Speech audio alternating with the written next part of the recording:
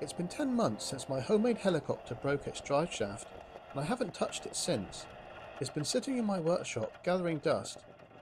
We all know what happened and can still read the comments, some highly encouraging, some highly discouraging. This project has always been a controversial one, not in my mind, but definitely in the wider audience.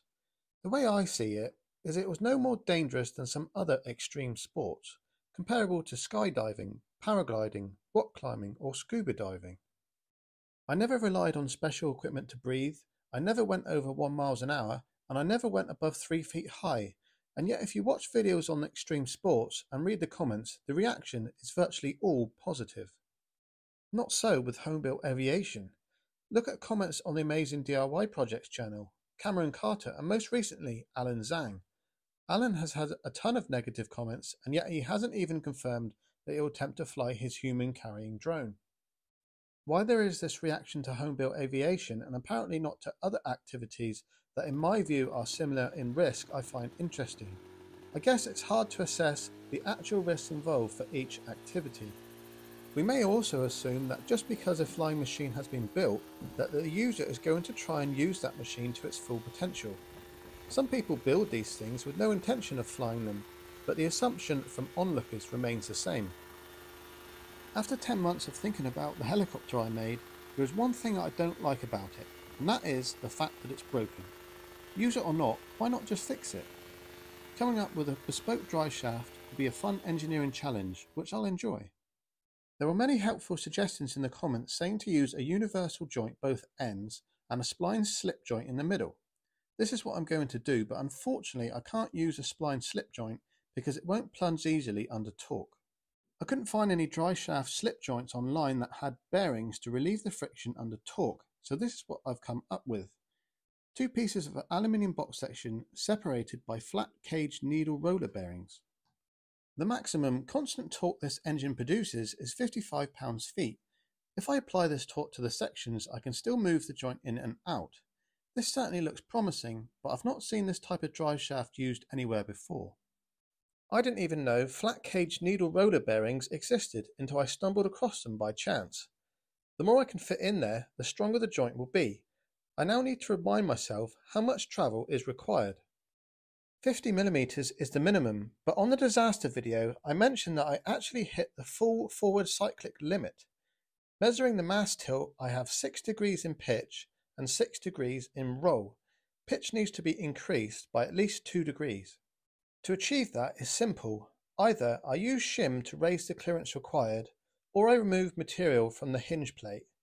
I'll need to make a new clutch drum in order to locate my new universal joints, and also a new drive spindle to the primary drive pulley. Before going further, let's get the machine out and see if it will start. The engine might have been over revved, so that is a concern.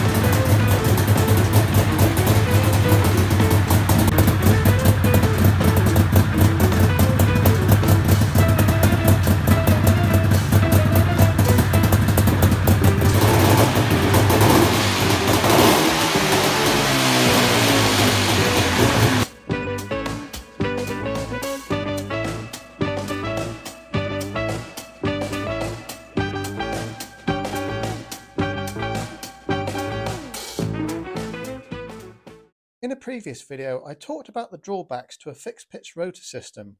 I said that it isn't a good idea for various reasons. I've had to think about this, and although I still think what I said is correct, I also think that if the machine was only to be used in very calm conditions, keep the altitude low and the speed, it could be used safely. So I believe then that this still has a place as a learning tool. Plus, it's seriously fun. The flexible drive coupling, which had a large part to play in the drive shaft failure, I'm not going to incorporate this time. The reason I wanted it was to take out the torque spikes the engine produces. I was worried it could snap a drive belt or other drive component. In the end, ironically, it helped cause the failure.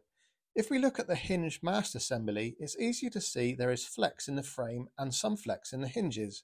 I think this flex could be considered a flex coupling. I really don't see how any significant torque spikes could be transmitted to the drive components when this flex is present. It's possible to see these torque spikes during the running up of the rotors. Notice the drive frame wobbling back and forth this is most pronounced during the acceleration period. When it's at full speed, the power delivery appears smooth. I think if there was a point where something could break, it is likely to be during this period of acceleration and rough running, rather than at full power. I need to decide if I'm going to attempt to add a sprag or overrun clutch.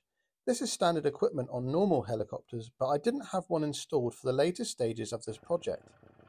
The benefit of an overrun is torque spikes can only be applied in one direction, and also if the engine was to seize, it wouldn't put huge amounts of deceleration stress on the drive system. The centrifugal clutch would automatically disengage at an engine RPM of 2500, allowing the remainder of the rotor inertia to spool down slowly. The benefit of not having an overrun is that with fixed pitch rotors, a reduction in lift is more rapid a benefit at times and a disadvantage at other times.